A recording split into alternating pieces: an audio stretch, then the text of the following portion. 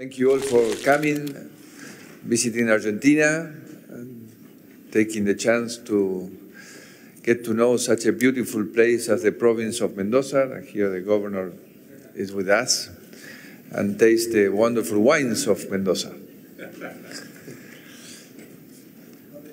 Now I'm going to switch to Spanish. Y es un gusto participar de esta reunión. Sé que en estos días, como viene haciéndose en todas las reuniones del G20, se han discutido temas cruciales que impactan, impactan directamente en la calidad de vida de, de la gente. Y especialmente cuando hablamos de calidad de vida y de futuro, hablamos de educación y el trabajo, ¿no? que son las únicas vías para lograr el desarrollo equitativo y sostenible. Y les agradezco que también, como en las otras reuniones, hayamos desarrollado un espíritu de trabajar en equipo, un trabajo juntos con el espíritu de consenso como, con el cual hemos liderado la presidencia argentina del G20.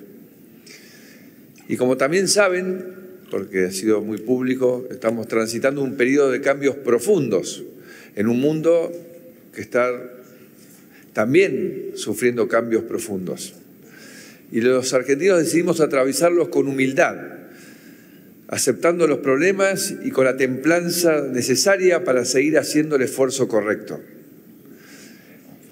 La misma convicción con que nos convocamos hoy a trabajar juntos lo estamos haciendo los argentinos en todos los frentes.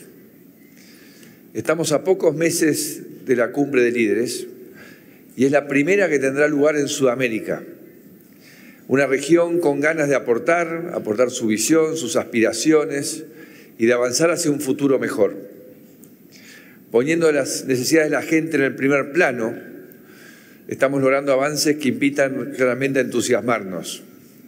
Las prioridades de nuestra presidencia, que han tenido un gran apoyo, gran apoyo de los líderes del G20, tienen que ver con el futuro del trabajo. El futuro del trabajo que claramente está en el centro de los cambios del mundo del siglo XXI. Una prioridad que pone énfasis en cómo crear trabajos colectivamente.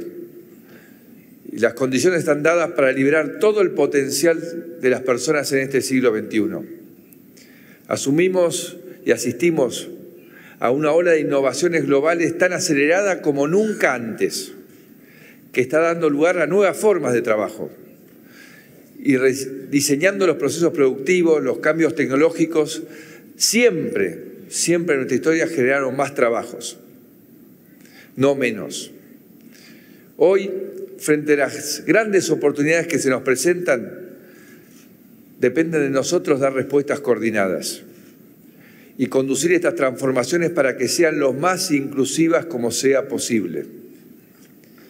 Para esto es clave que la educación provea las herramientas y las habilidades adecuadas que permitan empoderar a las personas para forjar su propio futuro. Como siempre digo, que puedan elegir, elegir libremente.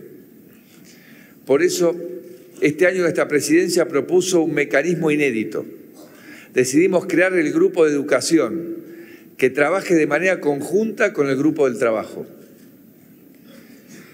y ahora es el momento de aportar conclusiones prácticas sobre cómo forjar las oportunidades y habilidades que preparen a nuestros ciudadanos para el cambio. Es el momento de crear los consensos básicos para trazar una hoja de ruta a futuro, consolidando la cultura del acuerdo y el diálogo con los trabajadores, los empresarios y el sector, el sector público, algo en el cual hemos puesto mucha energía en la Argentina en estos dos años y medio. Todos los sectores de la sociedad deben involucrarse para que la innovación tecnológica impacte positivamente en la calidad de vida de nuestra gente. Todos debemos prepararnos para hacer nuestro mayor esfuerzo.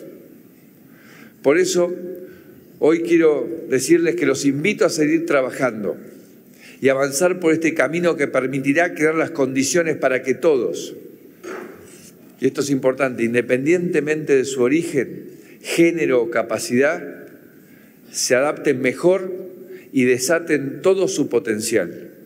Ese es nuestro compromiso como líderes, ayudar a que todos nuestros ciudadanos desaten todo su potencial en libertad, en armonía, en paz, sabiendo que pueden ser parte y protagonistas del mundo en el siglo XXI.